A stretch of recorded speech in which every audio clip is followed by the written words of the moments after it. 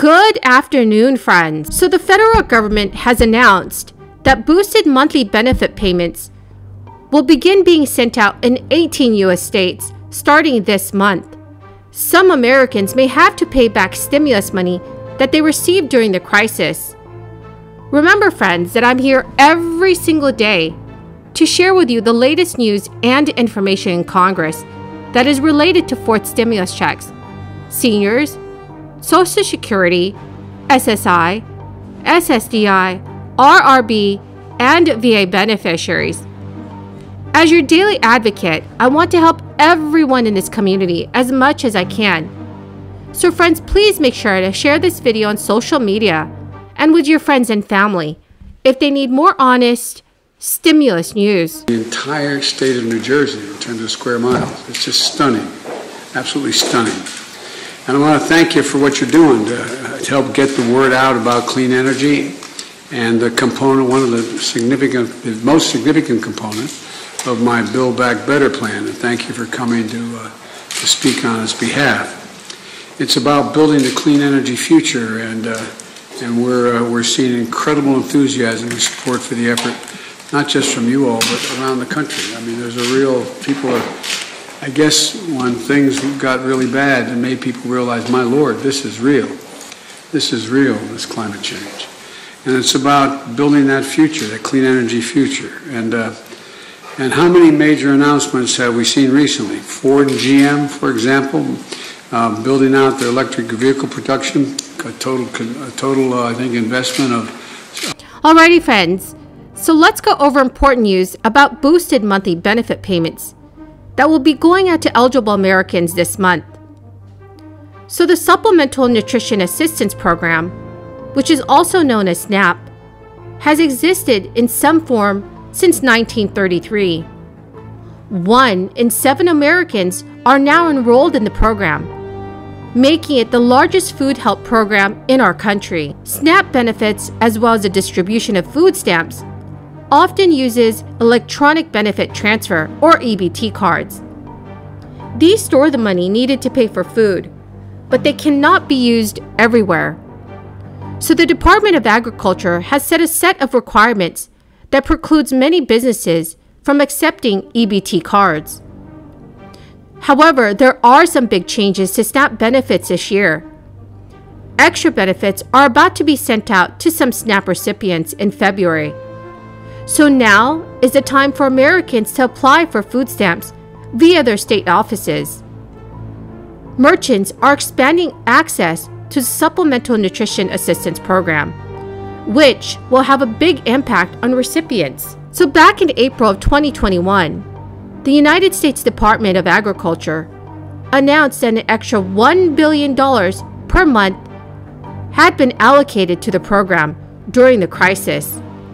While the amount of extra money eligible families may receive generally depends on the family size, is $95 is a minimum that households must be given residents must apply for SNAP in the state where they currently reside.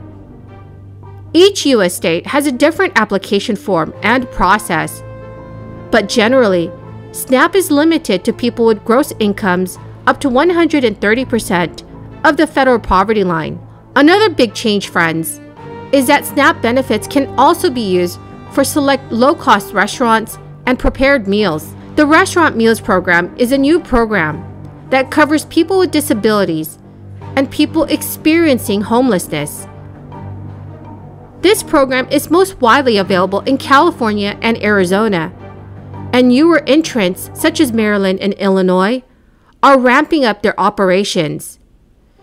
So, to join restaurant meals, states must first demonstrate to the U.S. Department of Agriculture that some high need residents are not well served by traditional food benefits. The program then allows members of three target populations, which are adults over the age of 60, people with disabilities, and individuals who are homeless, plus their spouses, to eat at low cost, state certified restaurants, which are chains like Subway and McDonald's. So, friends, what are your thoughts on these new changes to SNAP benefits? Do you think this assistance will help more during this crisis? Please Leave your thoughts in the comments section below. Friends, the keyword for this video is Australia.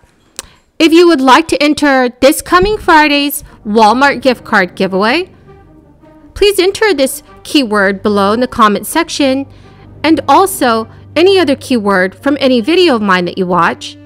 Please click and like my videos and also please verify that you are subscribed to my channel. Thank you so much friends. Now friends, here is some other breaking news on crisis aid. If you received a letter saying you have to pay back unemployment benefits that you received during the crisis, please do not write a check just yet. According to multiple news sources, some people won't have to pay it back. Workers who were not eligible for traditional unemployment benefits, mostly freelancers, independent contractors, and the self employed, were able to collect under several new federal crisis relief programs. But as U.S. states implemented the programs, some of the rules changed midstream, and hundreds of thousands of workers were wrongly overpaid, and hundreds of thousands of workers were roughly overpaid thousands of dollars in benefits by no fault of their own. In recent months, at least hundreds of thousands of workers received letters stating that they had to repay those benefits, which averaged about $4,400 per person. The Labor Department said that many workers may have been overpaid, but the U.S. Department of Labor just gave new guidance that essentially forgives some of those overpayments, informing states that they could cease collection efforts under certain circumstances. The Labor Department said it is working through the details and will notify workers who are eligible for the overpayment waivers of their next steps. The change in federal guidance came after Asaro Angelo, who's an American labor leader, also serves as chair of the National Association of State Workforce Agencies, sent a letter to congressional leadership asking that the overpayments be forgiven. Under this new guidance, collection efforts can end in cases where workers wrongly answered certain certification questions or were wrongly paid higher weekly amounts based on miscalculations by their state. Well, my good friends, you've come to the end of my daily stimulus update video. Thank you so very much for everyone who has joined me here once again today. I greatly appreciate all of you. So please remember to share this video with your friends and family if they need more reliable and accurate stimulus news information. Thank you so much and have a very blessed Wednesday.